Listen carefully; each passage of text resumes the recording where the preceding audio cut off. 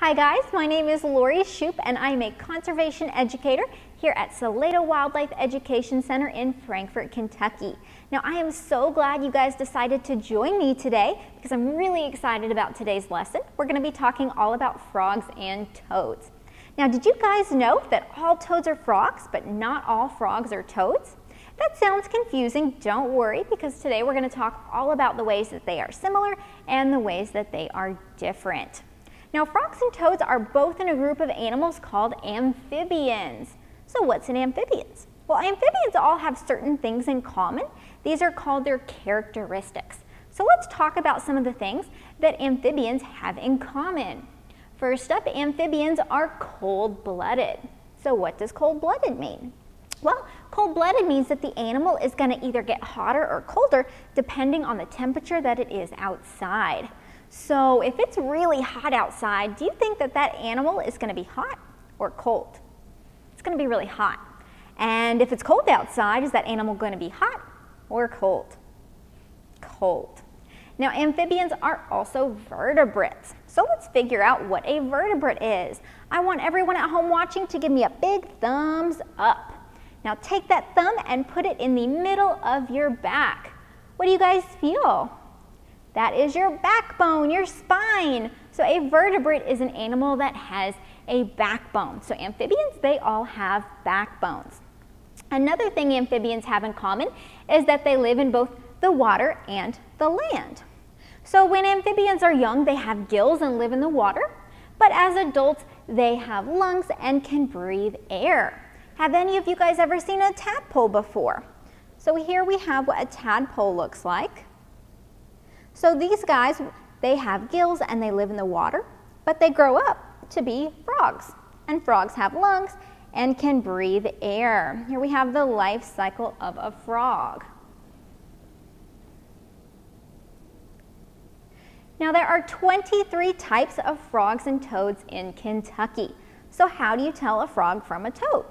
Well, we said earlier that all toads are frogs, but not all frogs are toads. Now, what that is, is toad is a word used to describe a certain type of frog. So why do toads get their own group? Well, that's because toads all have certain features in common that most other frogs do not have. Now, we've already talked about some of the ways that frogs and toads are alike, but now let's talk about some of the ways that they are different. Now, one way that frogs and toads are different is their skin and how they use it to breathe. Now, we're humans, right? How do humans breathe? With our lungs. It's a picture of some lungs right there. So I want all you guys at home to do this with me. We're going to take a nice deep breath and see how we breathe with our lungs. So frogs, they have lungs too. They can use lungs to breathe, but they also use their skin to breathe. Now, when most people think of frogs, they think of wet, slimy skin. Now that slimy skin is really thin and helps them to absorb extra oxygen through their skin. That's really gonna help them underwater. But their skin also allows them to absorb extra moisture or water from the air. Because frogs, they don't swallow water. They get enough water through their skin. But if the skin is too dry, then the oxygen isn't gonna pass as easily through their skin. That's why you often find frogs near the water. But toads, toads, they don't lose moisture as quickly, so they can live farther from the water. They also have bumpy skin. And you can see it really well on this picture here. They have glands behind their eyes that secretes poison. Now what that's gonna do is it's gonna help defend themselves against animals that wanna eat them. Now if you have a pet dog and let's say it goes and eats a toad and that toad lets poison out, it's probably not going to kill your dog, but it might make it a little sick. And frogs, they don't have those glands. And because of the bumpy skin, a lot of people believe that if you pick up a toad, you're gonna get warts. But I'm here to tell you that is not true. You're not gonna get warts from picking up a toad. Now, another thing that is different between frogs and toads is teeth.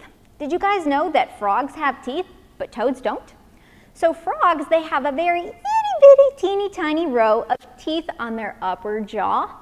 But frogs, they don't chew their food, so why do they need teeth? Their teeth aren't the same as ours, and they use those teeth to hold onto their food before they swallow it, so they've got a nice good grip. Now another thing that is different between frogs and toads is the way they lay their eggs. So frogs, they lay their eggs in a cluster, like a big blob of eggs, but toads, they lay their eggs in a chain. So if you guys wanna know if you have frogs or toads in your pond at home, all you have to do is look for their eggs. If you find clusters of eggs, that means you've got frogs living in your pond. And if you find rows of eggs, that means you have toads. Now, how can you easily tell the difference from a frog and a toad just by looking at it? Well, toads, they tend to have wide bodies with shorter back legs for hopping further. And of course, they've got that dry, bumpy skin we talked about. And frogs, frogs tend to have thinner bodies with longer back legs for jumping farther. And they've got that smooth, wet skin we talked about. Now that you guys know how to tell the difference between a frog and a toad by looking at it, let's play a little game. I like to call this game frog or toad. So what we're going to do is we are going to work together by looking at those differences we learned to see if this is a frog or a toad. So first off, look at its skin. Is its skin smooth and slimy or is it dry and bumpy? What do you guys think? Now let's look at its body. Is its body wide and thin?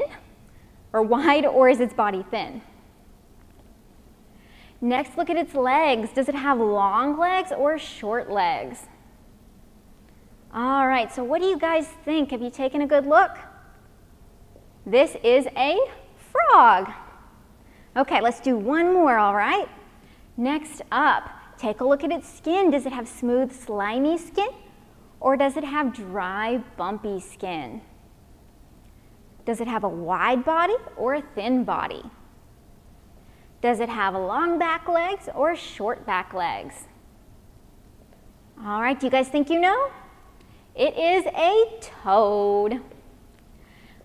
Now, thank you guys so much for joining me today. I hope maybe the next time you guys see a frog or a toad in the wild, you'll be able to tell which one it is and look for some of those differences. Bye, guys.